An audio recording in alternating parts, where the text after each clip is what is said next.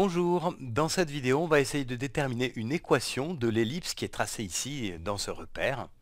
Donc si tu as une idée de comment est-ce que tu peux faire ça, je t'engage à, mettre la vidéo sur pause et à le faire d'abord tout seul et ensuite à regarder comment je fais. Alors en fait ici tu vois on a pas mal d'informations sur cette ellipse. On a déjà le centre de l'ellipse qui est ce point là ici.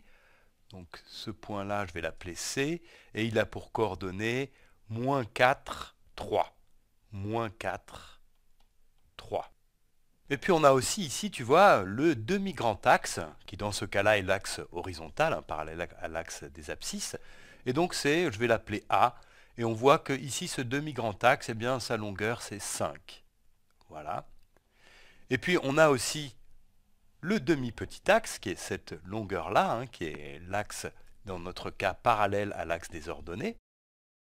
Et ça, je vais l'appeler B, et on voit que sa longueur, c'est 4. Et donc, quand on a toutes ces informations-là, le plus simple, c'est de passer par la forme générale de l'équation réduite d'une ellipse. Alors, je te rappelle cette forme-là. C'est x moins h au carré sur a au carré plus y moins k au carré sur b au carré égale 1. Ça, c'est la forme générale de l'équation réduite d'une ellipse. Et ici, h et k, ce sont les coordonnées du centre de l'ellipse. Hein. Donc ici, le centre a pour coordonnées h, k. Et puis le a qui est là, alors en règle générale, le a qui va avec le x ici, eh bien, euh, c'est le rayon horizontal de l'ellipse. Ici, on a l'ellipse tracée sous les yeux. On voit qu'elle est allongée euh, dans le sens horizontal. Donc, en fait, ce rayon horizontal, pour nous, dans le cas de cette ellipse, c'est le demi-grand axe. Hein. Euh, si l'ellipse avait été allongée plutôt dans le sens vertical, ça serait le demi-petit axe.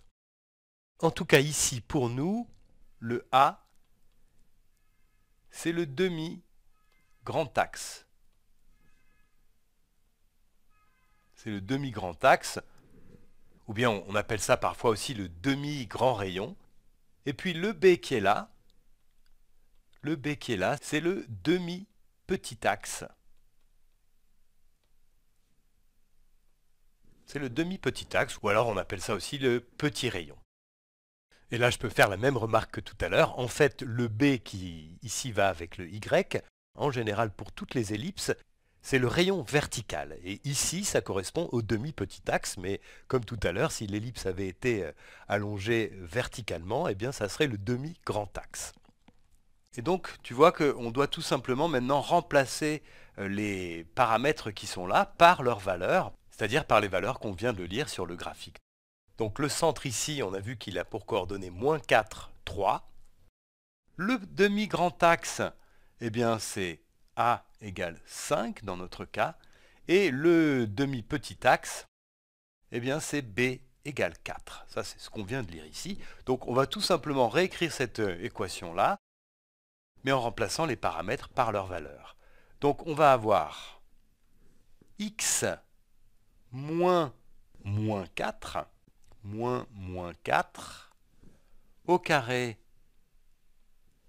sur a au carré qui est 5 au carré, 5 au carré, plus, ensuite, là je vais avoir donc y moins 3, y moins 3 au carré, divisé par b au carré, qui est donc 4 au carré.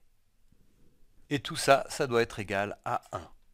Alors maintenant, on va juste simplifier ça. Donc, j'arrête d'utiliser les couleurs maintenant.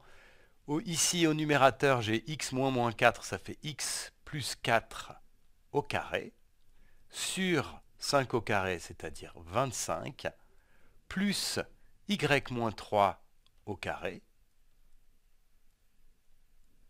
divisé par 4 au carré, c'est-à-dire 16, et ça c'est égal à 1. Voilà, ça c'est l'équation réduite de cette ellipse. Alors évidemment, tu peux euh, développer pour obtenir cette équation sous une autre forme, mais ça c'est l'équation réduite et elle est très pratique parce qu'elle fait apparaître effectivement le centre le demi-grand axe et le demi-petit axe.